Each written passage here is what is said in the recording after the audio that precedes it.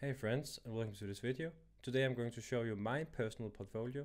Uh, I'll show you how you can take this code from my GitHub channel, use it as your own, uh, add different applications to modify it. Uh, I'll also show you all the different um, aspects of the project. I'll show you how I build it uh, using Tailwind, Next.js and TypeScript.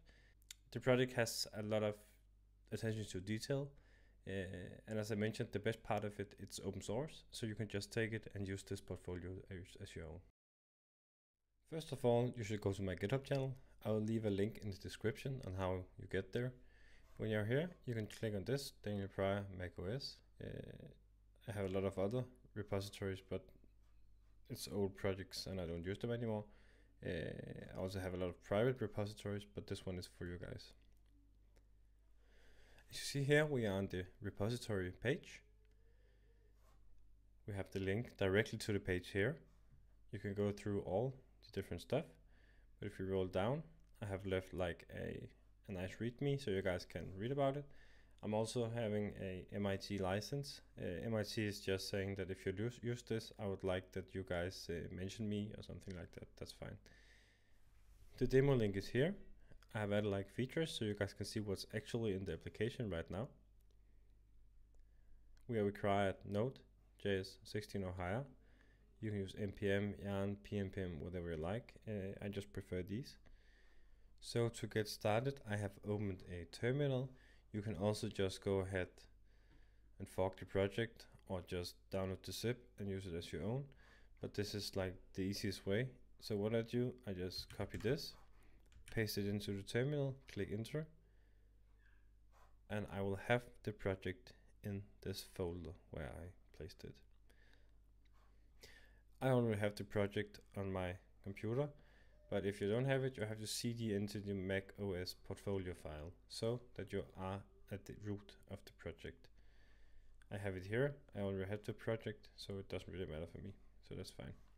If you don't know how to do this, do this step, just ask AI or something. It's really, really easy.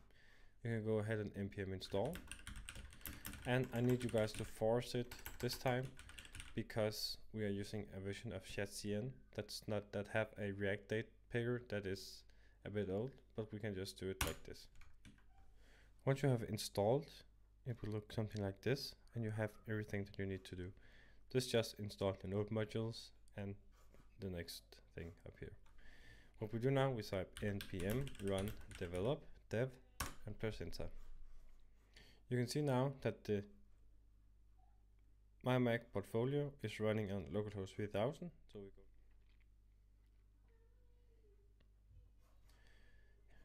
Also for the password, you can just type whatever and it's fine. So now let me go through the actual stuff that we have for the application. Right now we have added sleep mode, restart, shutdown, and we can log out. These are just simulating what, what it feels like to do this stuff. Mm-hmm. We also have this search here, where you can search for the app you want to open. I've added this, where you can turn dark and light mode. I prefer dark mode, and you can turn down the display. I've added like a Spotify thing, where you can play this, this currently only this song. There's a link to the GitHub.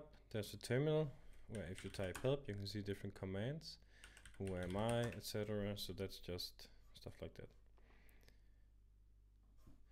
In the notes, that's probably the most important part. Uh, I have chose to write stuff about me and my experiences, my skills. So you guys can go ahead and modify these and just do whatever you want. There's also this VS Code that is directly to the application that we're using. So you can see this is actually the same as this. We have the launchpad. I have added like a weather app. Uh, this is just mock data, but uh, you guys get the idea. I have also added a snake game. Just make it bigger uh, play up here and then you can play a little bit of snake so this is just like just stuff to to fill uh, so that you guys can continue working on it and, and do whatever you want with the project I've also done like small different features. For example, Wi-Fi, if you turn it off, you can't access the browser. If you turn it on, of course you can access the browser. Um, battery is also using the batteries API. So if your computer is allowing this, uh, it will simulate the actual uh, percentage of your battery on the laptop. So now let me show you what you can do if you want to like add another application to this. Let's say we want to add an application over here. Uh, we can just for now just make it blank and just say hello, uh, hello YouTube or something. What I would do, I would first of all open VS Code with the once I'm at, at the project, I want to have YouTube window and dock opened. I go here to my components, I find apps, and it's just add a new app, call it test .tsx. Uh, I imagine we can just copy this, maybe make this smaller. Put it in here. And let's just clean it up so it has nothing to do with YouTube. Test props. Put it in here, here. We just say hello YouTube. Remove this. There's also an image, we can remove that we can remove this and we can actually also remove this perfect now we have added the hello YouTube window app whatever we want to call it. We go to window we go up here and we import test from like this components applications test. So it's right here.